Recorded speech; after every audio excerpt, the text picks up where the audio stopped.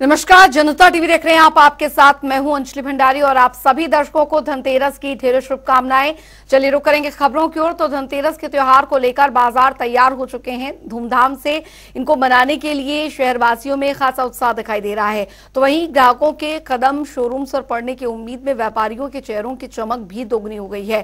साथ ही बता दें कि इस दिन प्रदोष काल में माता लक्ष्मी, कुबेर देव और भगवान धनवंतरी की पूजा का विधान है। साथ ही इस दिन धनतेरस के दिन सोने और चांदी से बनी चीज़ें खरीदना बहुत ही शुभ माना जाता है। तो धनतेरस का त्यौहार बेहद शुभ होता है। खरीदारी के लिए भी बेहद शुभ यहाँ पर होता है सोना चांदी और साथ ही बर्तन जो है वो यहाँ पर लोग इस दिन खरीदारी करते हैं और कहा, कहा जाता है कि इस दिन खरीदे गए सामानों में काफ़ी बरकत होती है। और काफ़ी शुभ माने जाते हैं। और इसीलिए आज आप देखिए, सुबह से ही बाजारों की जो रौनक है, वो अलग ही तरीके से आज देखने को मिल रही है। लोगों में अच्छा खासा उत्साह यहाँ पर देखने को मिल रहा है। तो एक तो दिवाली से पहले की रौनक और ऊपर से धनतेरस का त्यौहार बेहद शुभ है।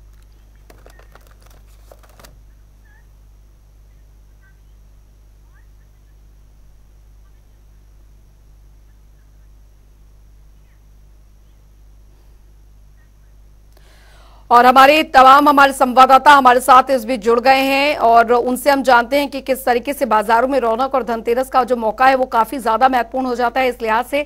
तो किस तरीके की रौनक जो है वो देखने को मिल रही है? हमारे साथ धर्मेंद्र चौबे हमारे साथ जुड़ गए हैं, वाराणसी से। प्रयागराज से हमारे साथ सैयद मोहम्मद आमिर जुड़ गए हैं और अनूप कुमार हमारे साथ इस बीच लखनऊ से जुड़ गए हैं। लखनऊ की रौनक किस तरीके की देखने को आज धनतेरस पर मिल रही है, अनूप?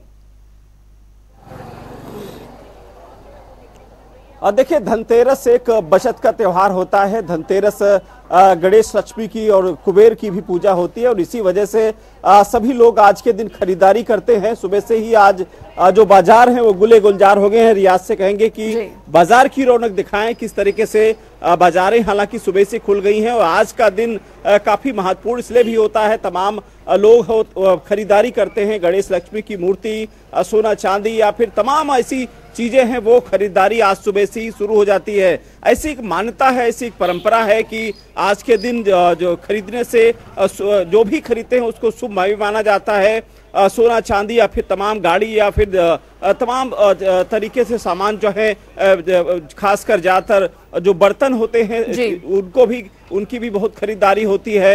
ये सब खरीदारी करने के बाद एक एक मान्यता है कि आज के दिन और धनतेरस वाले दिन जो भी सामान खरीदते हैं सह बरकत होती है। इसी वजह से ये परंपरा है और आज सुबह से ही लखनऊ में जो बाज़ार हैं वो गुले गुलजार हो गए हैं। लोग अपने घरों से बाहर निकलेंगे। धीरे धीरे जब समय बढ़ता रहेगा शाम तक चूँकि लखनऊ में दुकानें करीब साढ़े दस बजे के बाद खुलती हैं और यही वजह है कि आपको इस समय थोड़ी भीड़ कम दिख रही होगी लेकिन जैसे जैसे समय बीतेगा वैसे वैसे बाज़ार में भीड़ बढ़ती जाएगी लोगों की संख्याएँ बढ़ती जाएँगी और खरीदारी पर भी लगातार खरीदारी बढ़ती जाएगी।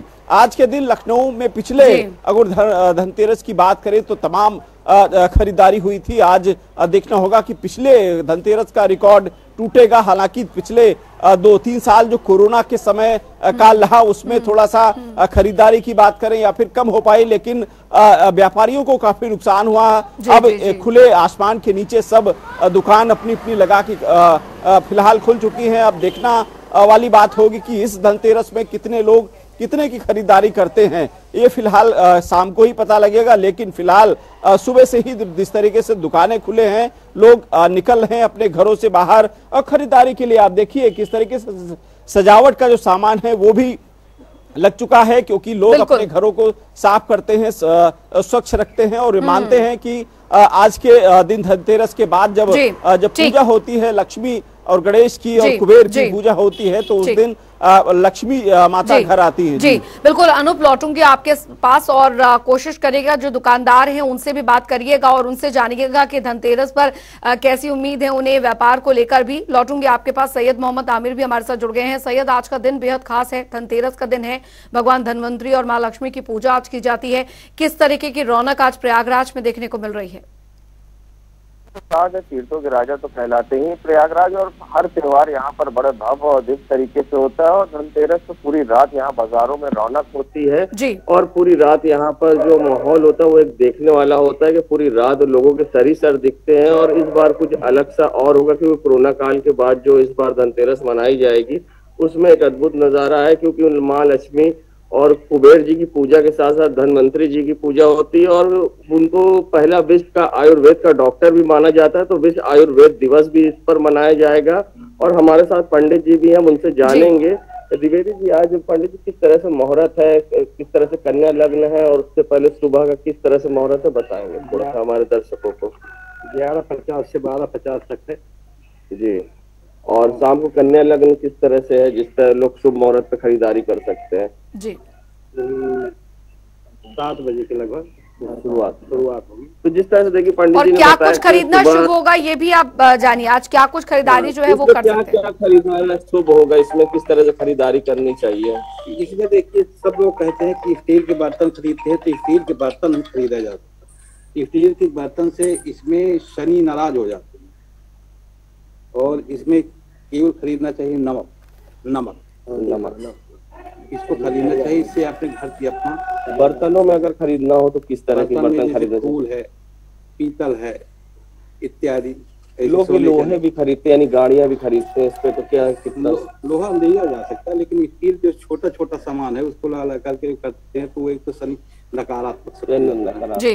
तो इन्होंने बताया कि स्टील के बर्तन खरीदने से नकारात्मक होता है और साथ ही शनि देव नाराज़ होते हैं। तो स्टील के बर्तन को खरीदने से बचना चाहिए साथ ही लोहे और सोने चांदी और पीतल के चीज़ों को लेना चाहिए। जी। चलिए लौटूँगे आपके पास। धर्मेंद्र चौबे वाराणसी से हमारे साथ जुड़ गए हैं। धर्मेंद्र फ़िलहाल वहाँ पर किस तरीके की रौनक मंदिरों में और खासकर बाजारों में किस तरीके की रौनक जो है वो देखने को मिल रही है इस धनतेरस? देखिए फ़िलहाल कतार लगी है तेरस और धन और धनतेरस दोनों एक ही दिन पड़ा है ये महासंयोग है 450 साल बाद ये महासंयोग पड़ा है जिसमें कुबेर लक्ष्मी और धन्वंतरी महादेव की पूजा करने से मनुष्य के सारे फलों की प्राप्ति होती है हमारे साथ संत समाज के लोग इनसे बात करते हैं कि क्या तैयारियाँ हैं और किस तरीके की पूजा होगी क्या विधि होगी आज धनतेरस और तेरस दोनों है। तो क्या महत्व होगा की पूजा का?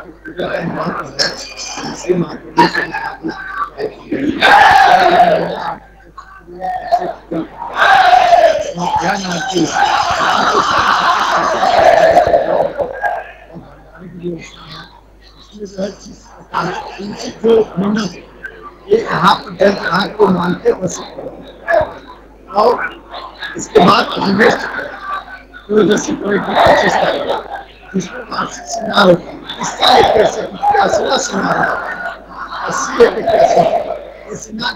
कैसे बाबा के भक्त जो आते हैं कल्याण ये सजाद नहीं हुआ था तो मेरे जो जो पूर्वज थे वो लोग यही मिले थे बाबा ये सजाद हो जाएगा जी। आज के बिल्कुल तो बिल्कुल बिल्कुल, धर्मेंद्र, हम देख पा रहे हैं हर हर महादेव किनारे वहाँ पर किस तरीके से जयकारे वहाँ पर लग रहे हैं। और धनतेरस का आज ये पावन पर्व अति शुभ माना जाता है किसी भी काम, अति शुभ काम की शुरुआत के लिए। अनुप अनुप, वहाँ पर दुकानदारों से आप, क्योंकि वक्त कम है, आप जल्दी से दुकानदारों से वहाँ पर बात करिए और उनसे जानिए कि इस धनतेरस में कितना उन्हें लग रहा है, व्यापार जो है वो होने वाला है और कितना उत्साह वहाँ पर पहुँच रहे जो लोग खरीदार हैं, उनमें देखने को मिल रहा है।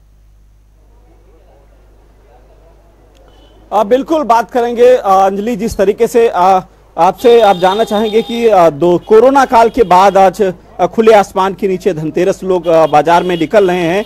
व्यापार में किस तरीके से बिक्री हो रही कि नहीं हो रही? अभी तो सुबह हुई है अब दुकानदारी एक बजे के बाद शुरू होगी। भीड़ काफ़ी होती है यहाँ पे नरई पे। भीड़ बहुत होती है और रात के 12 बजे तक पब्लिक चलती रहती है। पिछले गुर, अ, गुर समय की बात करें क्योंकि कोरोना काल काफ़ी व्यापार को मंदा कर दिया और दीपावली के खासकर यही खरीदारी होती है लखनऊ के आसपास के जिलों के पूरे देश में धनतेरस को बहुत ही शुभ माना जाता है। ऐसे में आप क्या कुछ कर हम क्या हम धनतेरस के दिन दुकानदारी बढ़िया होती है और कोरोना के हिसाब से भी कोरोना था तब भी ठीक चल रहा था अब भी वैसे ही मतलब मैं पहले से बहुत अच्छी दुकानदारी है। अ, कुछ लोगों से और भी बात करेंगे क्योंकि आप देखिए किस तरीके से यहाँ पर दुकान की सजावट है। अ, माता जी अ, अ, किस तरीके से दुकानदारी चल रही क्योंकि कोरोना काल के बाद एक अच्छी दीपावली मान मानेंगे। भैया ऐसे चल रही है। एक का चुक्का एक का दुक्का कोई आ रहा कोई जा रहा कोई नहीं आ रहा। हम तो सवेरे से बैठे हैं अभी दस रुपए फूल बेचा बेटा। बस और क्या बता दें। यही बेच रहे हैं। इक्का दुक्का कोई आ रहा, कोई नहीं आ रहा।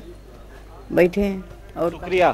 तो माता जी थी जिनका साफ़ तौर से कहना था कि इक्का दुक्का लोग आ रहे हैं, लेकिन अभी सुबह का समय है करीब अ, 12 बजे के आसपास लोगों की भीड़ बाज़ार में बढ़, बढ़ती है और लखनऊ की जो बाजारें हैं वो थोड़ा सा सुबह लेट में खुलती हैं। और यही वजह है कि बाजारों में भले ही लोग कम दिख रहे हो लेकिन रौनक ज़्यादा है। जी बिल्कुल रौनक ज़्यादा है। बहुत बहुत शुक्रिया अनूप आपका इस तमाम जानकारी के लिए साथ धर्मेंद्र आपका भी और सैयद मोहम्मद आमिर आपका भी इस तमाम जानकारी के लिए। और फ़िलहाल एक और बड़ी खबर की ओर करेंगे। बड़ी जानकारी आ रही है वो आपको बता दें। बड़ी खबर लखनऊ से सीएम योगी का आज का कार्यक्रम। आपको बता देते हैं आज का कार्यक्रम क्या कुछ रहेगा। उज्ज्वला योजना का करेंगे शुभारंभ। मुख्यमंत्री आज उज्ज्वला योजना के तहत गैस वितरण की जाएगी एक दशमलव पिछहत्तर करोड़ परिवारों को निशुल्क गैस वितरित की जाएगी। सीएम योगी का आज का कार्यक्रम आपको बता रहे हैं। लखनऊ से बड़ी जानकारी, उज्ज्वला योजना का करेंगे शुभारंभ। उज्ज्वला योजना के तहत गैस वितरण की जाएगी एक दशमलव पिछहत्तर करोड़। परिवारों को निशुल्क गैस वितरित की जाएगी। लखनऊ से बड़ी खबर, सीएम योगी का कार्यक्रम उज्ज्वला योजना का शुभारंभ आज मुख्यमंत्री करने जा रहे हैं। ये बड़ी खबर आपको बता रहे हैं। लखनऊ से आ रही है बड़ी खबर उज्ज्वला योजना के तहत। जानकारी, आज उद्घाटन मुख्यमंत्री करेंगे। उज्ज्वला योजना का शुभारंभ आज करने जा रहे हैं मुख्यमंत्री। योगी आदित्यनाथ उज्ज्वला योजना के तहत गैस वितरण कार्यक्रम का आयोजन हुआ है। एक दशमलव पचहत्तर करोड़ परिवारों को निःशुल्क गैस वितरित की जाएगी। तो सीएम योगी का आज का कार्यक्रम आपको बता रहे हैं।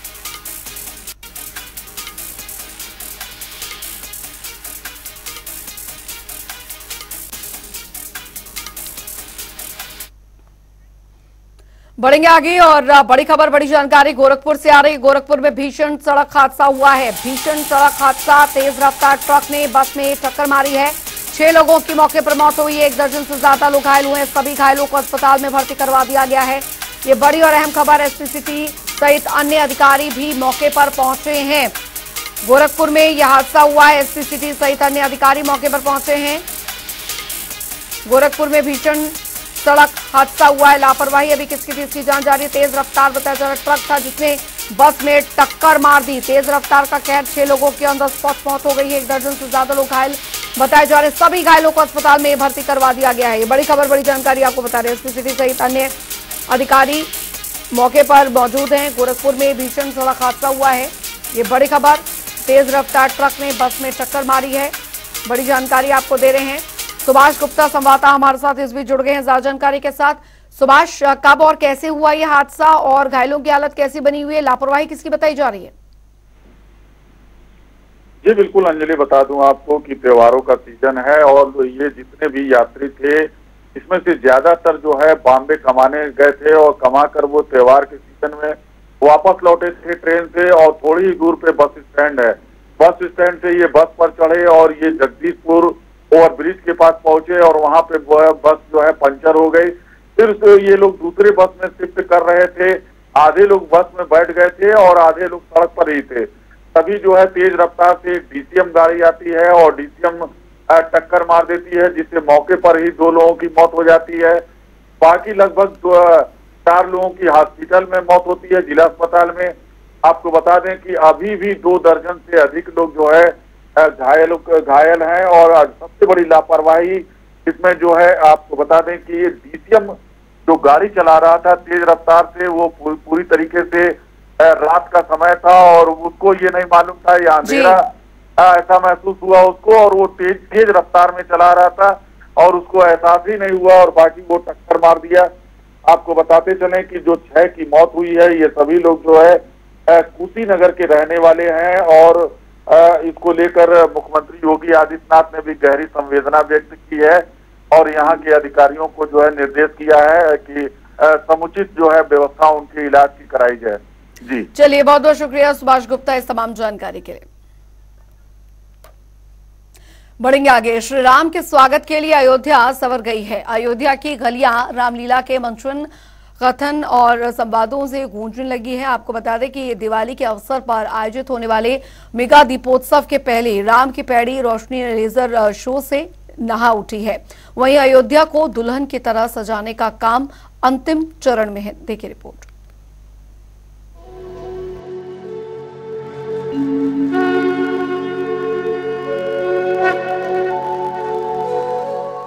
श्री राम के स्वागत के लिए अयोध्या संवर गई है।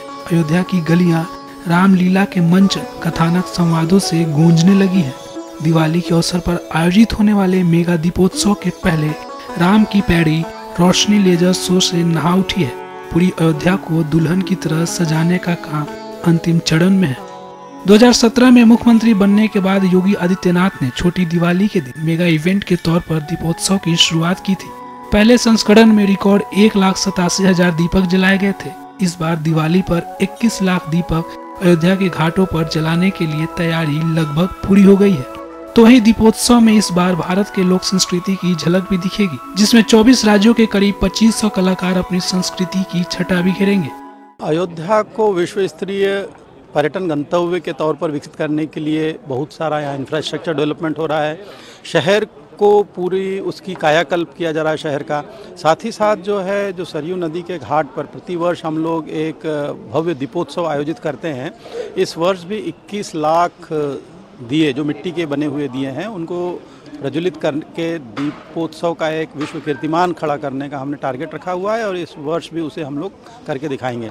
साथ ही साथ जो है, यहाँ पे देश विदेशों की रामलीलाओं का आयोजन, सांस्कृतिक कार्यक्रमों का आयोजन और ये सांस्कृतिक कार्यक्रम अनवरत वो भी चलाते रहेंगे हम होली दहन तक के। और ये होलिकोत्सव तक के जो ये प्रतिदिन कार्यक्रम होंगे, उसमें राम कथा होगी, उसमें बहुत सारे सांस्कृतिक कार्यक्रम होंगे और साथ ही साथ रामलीलाएँ भी आयोजित होंगी।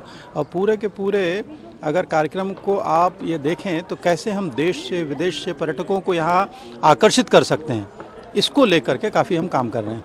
इसी कड़ी में भगवान राम की नगरी अयोध्या रोशनी से नहाई हुई है, जिसे लेकर लेजर शो और लोक संस्कृति कार्यक्रम का रिहर्सल किया गया। भगवान राम के जीवन चरित्र पर आधारित कथा के अनुसार लेजर लाइट शो का प्रदर्शन किया गया। दिवाली से पहले रामनगरी अयोध्या रोशनी से सराबोर है और सतरंगी रोशनी में नहाई अयोध्या की रौनक देखते ही बन रही है।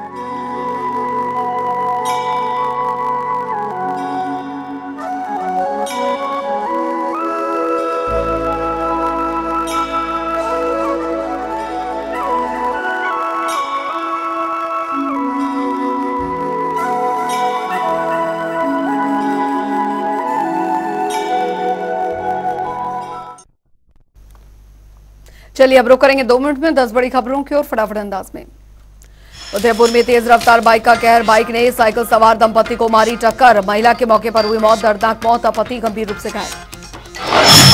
पीलीभीत से छह साल बाद ट्रेन का हुआ संचालन। सांसद वरुण गांधी ने हरी झंडी दिखाकर ट्रेन को किया रवाना। विधायक पुत्र ऋतुराज ने ट्रेन पायलट को पहनाई फूलमाला शामली में किसानों का धरना प्रदर्शन भी क्योंकि राष्ट्र प्रवक्ता नहीं मनाएँगे दीपावली, किसानों के मुद्दे को लेकर सरकार पर साधा निशाना।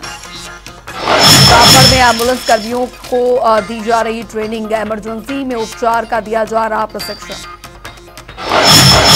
फतेहपुर में पुरानी रंजिश के चलते दो गुटों में विवाद, जमकर हुई मारपीट, वीडियो सोशल मीडिया पर वायरल। देवरिया समाजवादी पार्टी का कार्यकर्ता सम्मेलन, पूर्व कैबिनेट मंत्री ब्रह्मशंकर त्रिपाठी रहे मौजूद।